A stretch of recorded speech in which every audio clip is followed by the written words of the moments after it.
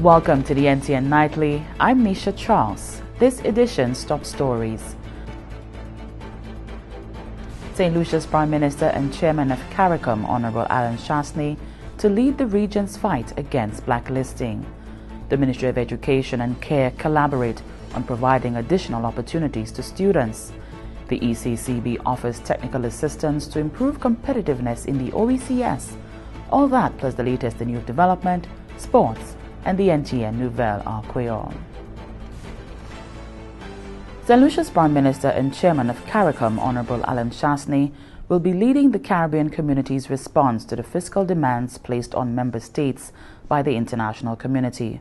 Of primary concern is the blacklisting of Caribbean countries deemed to have harmful tax regimes as recently determined by the European Union. This poses significant threats to CARICOM countries which depend heavily on their financial services sector.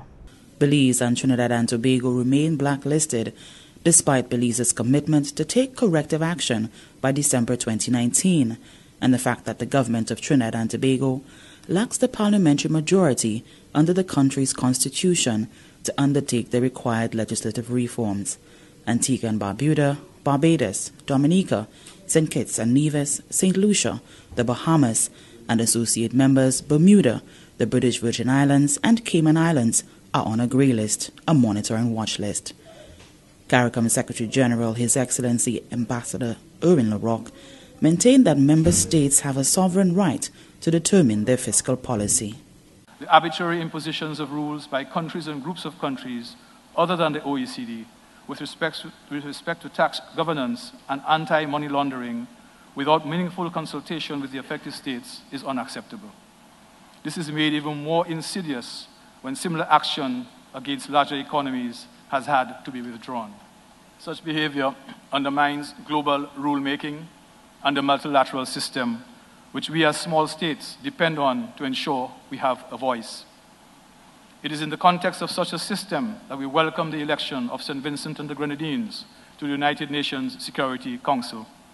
The Caribbean community has been reaching out to the EU members and to friendly governments to support and intercede on its behalf to halt the negative impacts of blacklisting, which include reputational damage and an assault on the economies of member states which are focused on resilience building.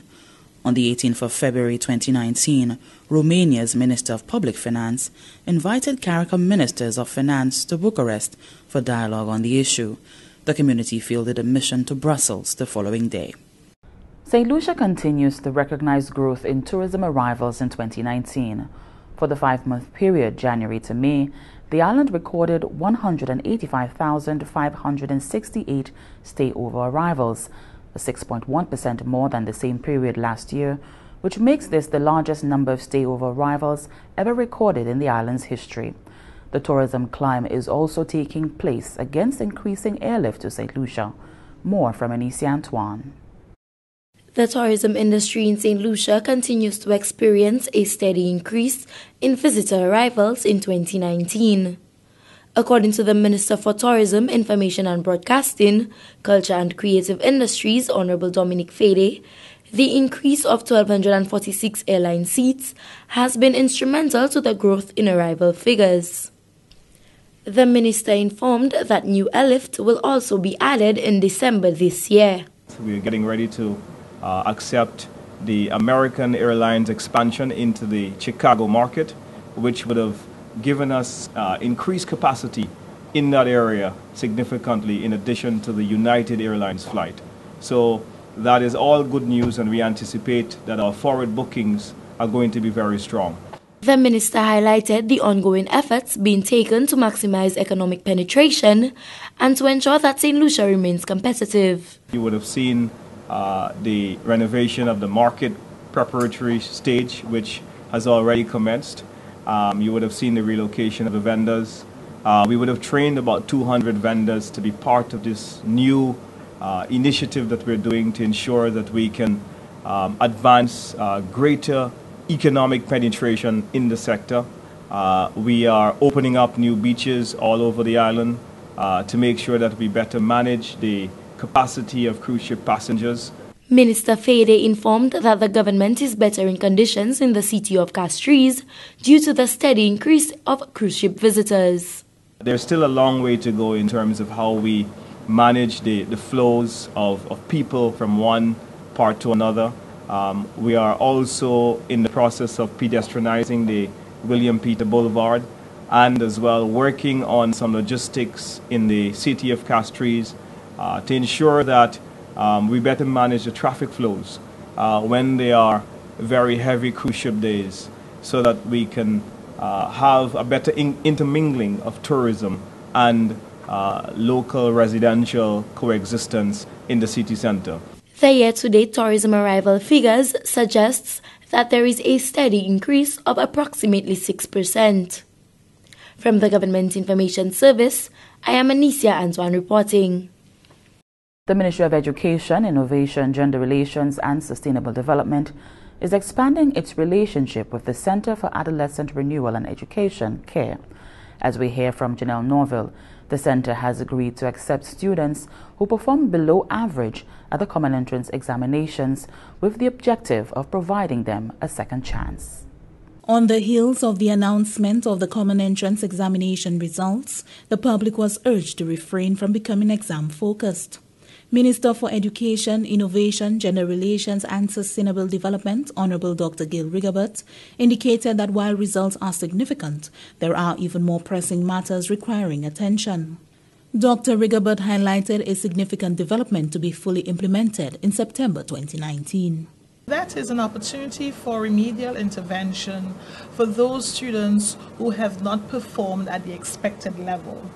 I want to thank CARE, headed by Dr. Mason, for that collaboration, where the CARE Institute will accept some of our students who have capitalized on the opportunity that we have created for that kind of intervention, maximizing on the well-established approaches and successes at CARE.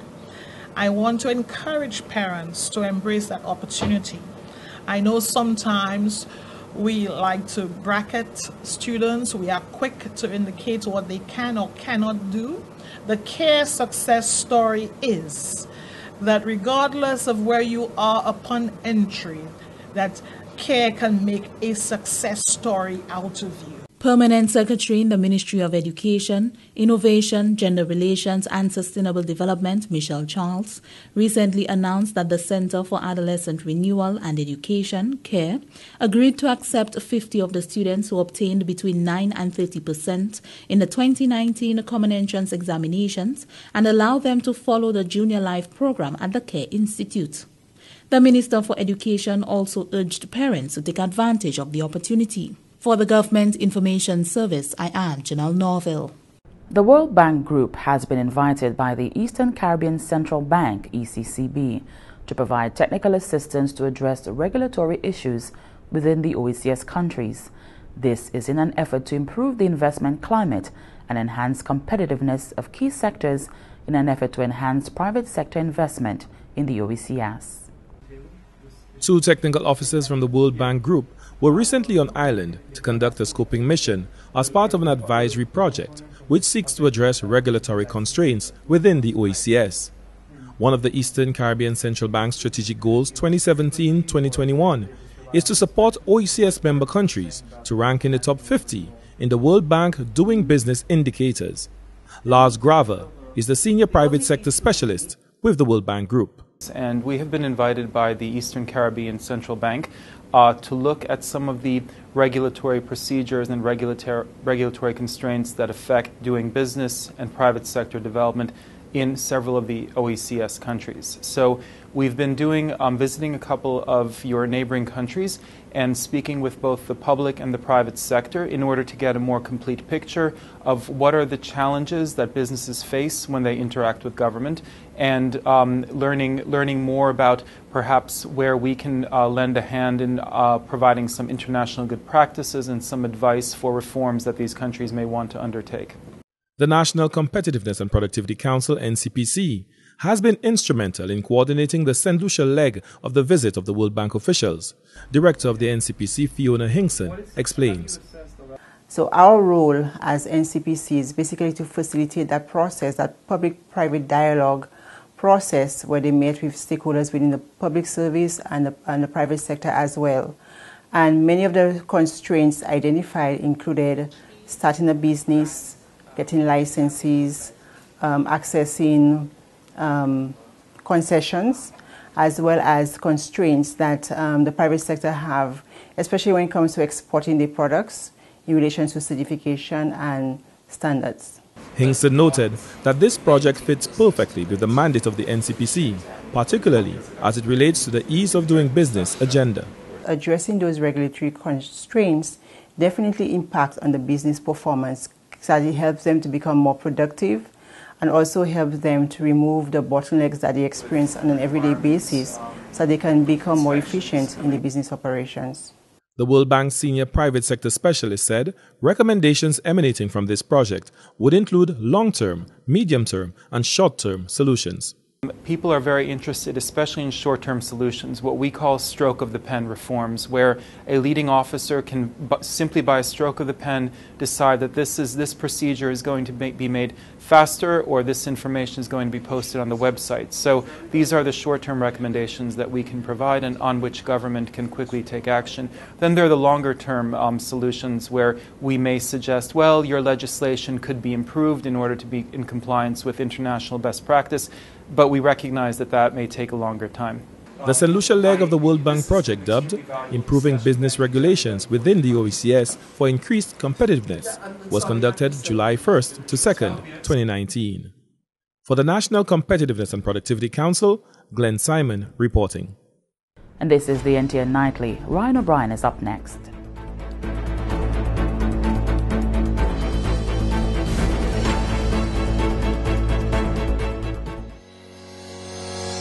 One of the eight universally recognized rights of the consumer is the right to be heard. This means that every consumer who is dissatisfied with a good or service has the right to lodge a complaint to the provider of that good or that service. This should be the first point of lodging a complaint. Ensure that the receipt as proof of the transaction is available.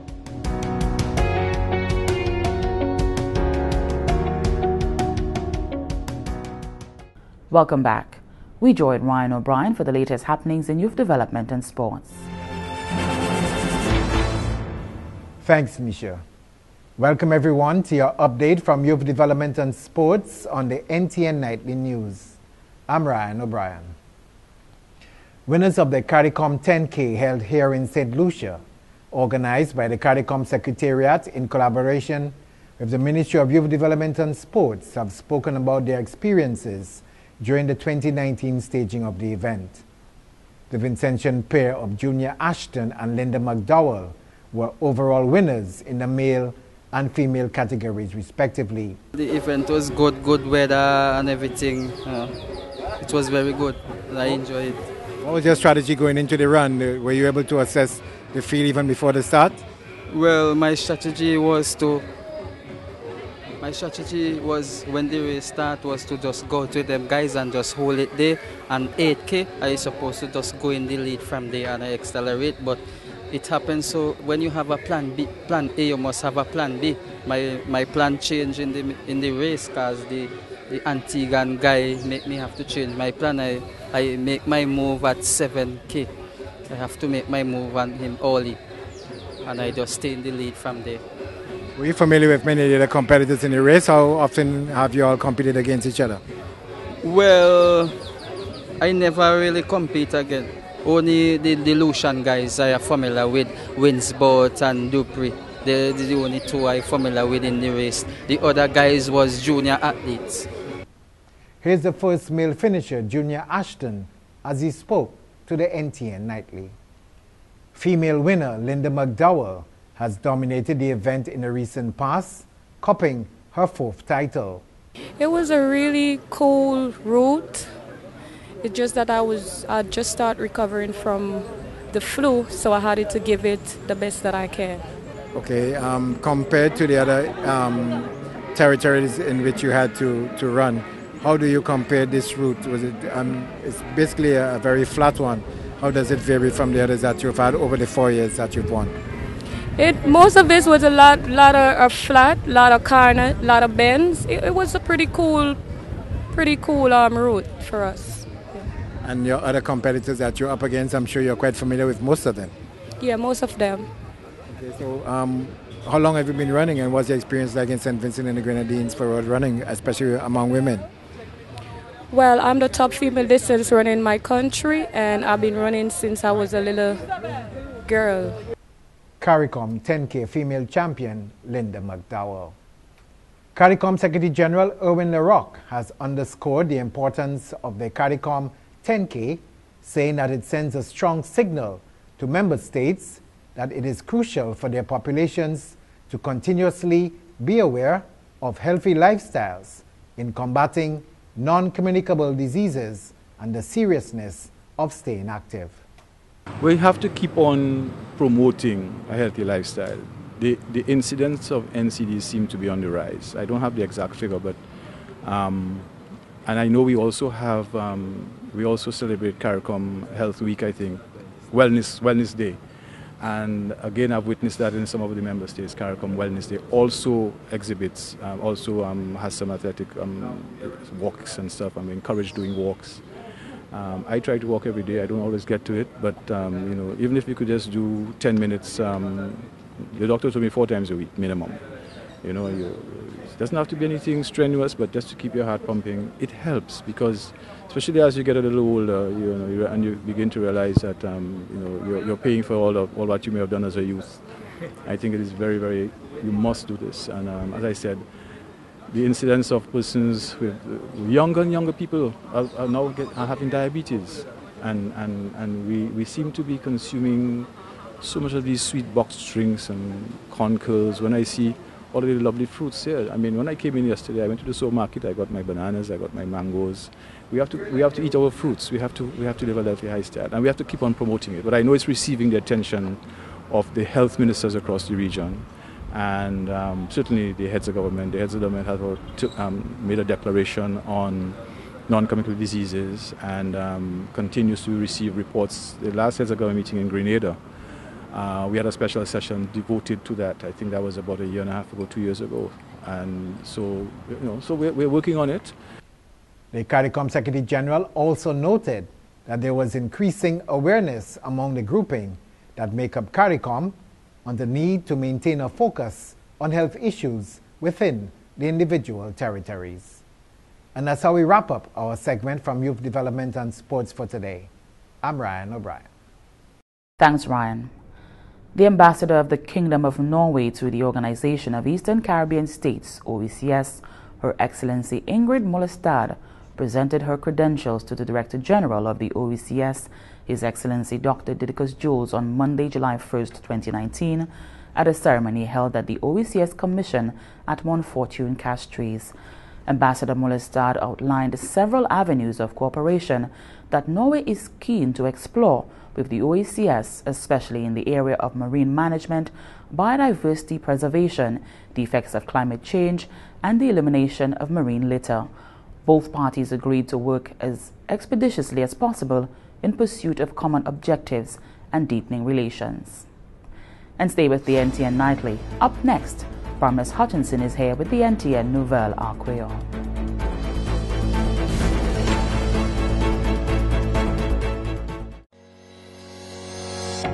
One of the eight universally accepted rights of the consumer is the right to safety.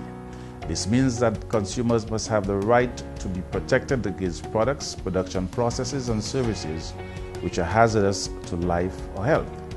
Such products and services must meet established national standards. These standards give the consumers the assurance that the product is safe for use or consumption.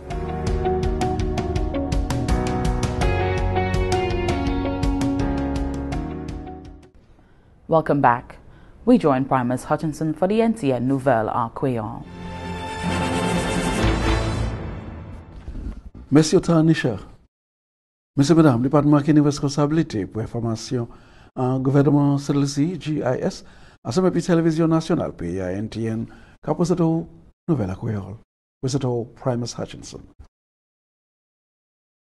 Celle-ci a continué pour espionner Pogoué, ainsi qu'à touristes qui ont visité le pays pour l'année ici, pour une période de 5 mois, janvier pour mai. Celle-ci a enregistré 185 000 568 les étrangers qui visitaient PIA Equestria Hotel. Ça, c'était 60,1% plus qui, même période là, l'année passée. Ça te dit, c'est plus haut le niveau touriste que j'ai enregistré pour qu'à rester en pays en l'histoire des affaires touristiques. Après premier quartier l'année ça là, la tenue augmentation de 24,8% avec 2,2% Alimo Tourist sorti l'Angleterre ek l'Amerik. Padan sa, tika, sa ki sorti l'Allemagne, augmente pa 6%. Ek les etwaje, la, la plas la teya, agwandi pa 6.3%. Agwandisman double pa 13.1% pou premye pwa an ane sa la, ek an mwa avwi, ek sa teni pou fe epi se aktivite ki te pou ekou pou mpak. La plas karib la dou bout a pa pou ka ni pli gwan pousan, sa se 50.5% ek osi augmentation de 2.793 moun ki vizite. Mwad mi te vivan epi aktivite pa mi tout se te spektak jazz, ek plus voyaj de avyon an Karibla an pa mi lot. A wazalta de sa, yon total de 34.354 turist vizite. Ça, c'est plus que 6,4% qui l'année passée. Alors, l'année 2019, Jacques a trouvé qu'on s'est plus mais l'année. Et peut juste trouver qu'on plus mais l'année qui trouvait sa vitesse cette ici. Ça, c'est parce que moi, janvier, février, avril, avec mai, j'ai passé avec plus accomplissement qui était déjà là avant, concernant les niveaux touristes que j'ai visité cette ici. Moi, j'ai, pour septembre, qui a aussi montré un pile pour mettre. Comme les autorités touristiques cette année, qui aspect pour plus touristes visiter. Ça, c'est pour Carnival, Mercury Fest, et spectacle Roots and Soul. Autorité a continué pour présenter cette année comme pays pour ni plaisir vacances en différentes façons pour amuser et intéresser et pour citoyer l'intérêt touriste pour visiter cette lycée. Le rezidant an vilaj Kanawi, kay apreza li kapab pou devlope abilite pou prel avataj travay ki avelab, kom yo ja trouve yon etablisman ki ja wibati an vilaj la pou ende yo adwese se kapabilite sa la. Inisiatif la ka fey posib pou akowe pli for program pou indike ni jen e osi le adilt an vilaj Kanawi. L'okasyon pou servi kompyuta pou fasilite divers fason de eployman apami lot. Direkter pou inovasyon an Minister de Edikasyon, Linel Malze, fè se wèzidan kopon ki.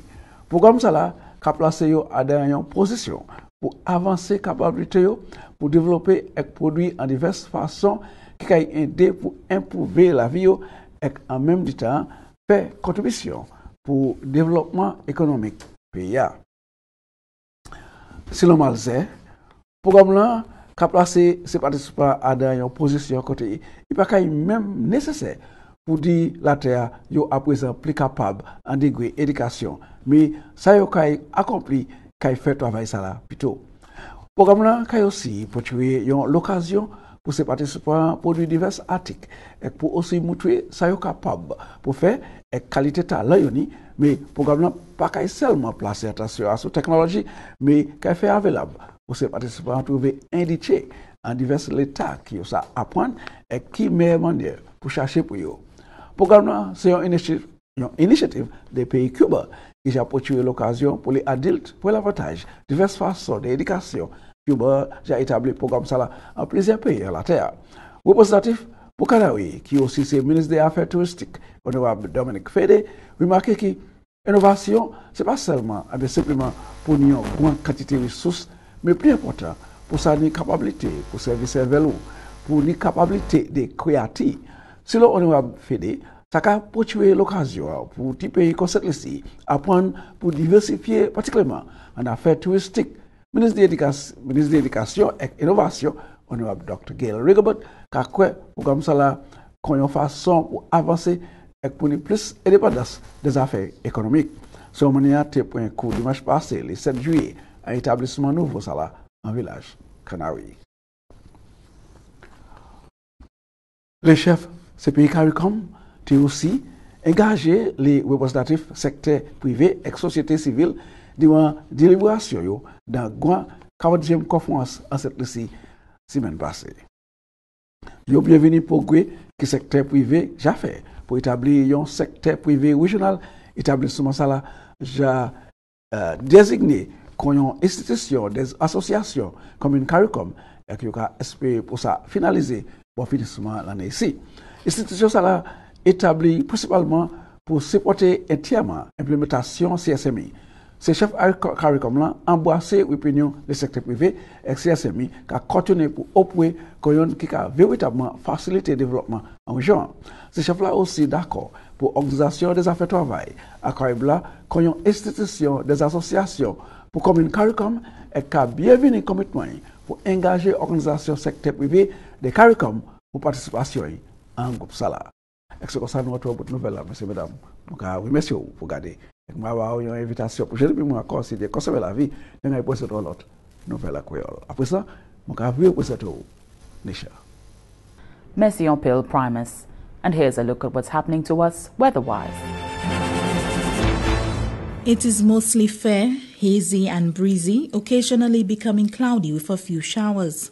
A tropical wave located over the central tropical Atlantic is moving westward near 17 miles per hour or 28 kilometers per hour. This wave is expected to bring scattered showers and isolated thunderstorms over eastern Caribbean islands on Friday through to Saturday. Two other tropical waves located over the eastern and far eastern tropical Atlantic are moving westward at about 17 miles per hour and 28 kilometers per hour. Tides for Castries Harbor low at 4:01 p.m., high at 10:53 p.m. Tides for Vieux Fort Bay low at 5:28 p.m., high at 12 a.m. The sun will rise Thursday at 5:42 a.m. And that brings us to the end of the NTN Nightly. Join us next time at 7 p.m. with a repeat at 7 a.m. You can also catch up with us anytime on the St. Lucia Government Facebook page or YouTube channel. I'm Nisha Charles.